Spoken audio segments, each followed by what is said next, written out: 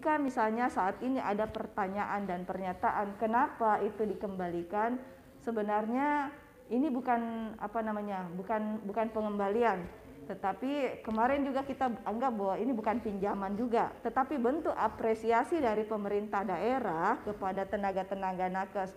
Tetapi kami berpikirnya jangan sampai di kemudian hari ini ada double pembayaran, makanya kami menarik kembali dana yang diberikan kepada teman-teman di puskesmas dan mengganti dengan dana insentif melalui dana Kementerian Kesehatan dan itu sudah masuk ke rekening puskesmas, rekening masing-masing petugas.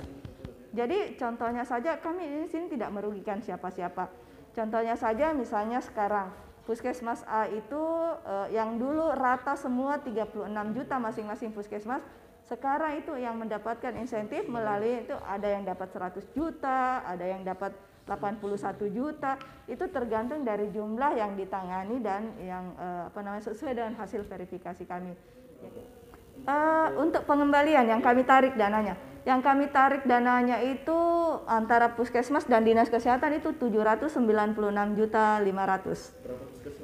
Semua puskesmas kami tarik dananya kembali itu yang 36 juta. 700 juta ini kita gunakan untuk dipergunakan untuk pengadaan rapid test, penggunaan pembelian dakron untuk swab dan eh, kegiatan-kegiatan uh, lain untuk uh, penanganan COVID selanjutnya. Kesehatan dalam hal ini keputusan yang diambil oleh Ibu Dinas Kepala Dinas Kesehatan ya. karena uh, mencoba untuk tidak menggunakan dana uh, double ya. terhadap uh, satu objek kegiatan dalam hal ini pemberian insentif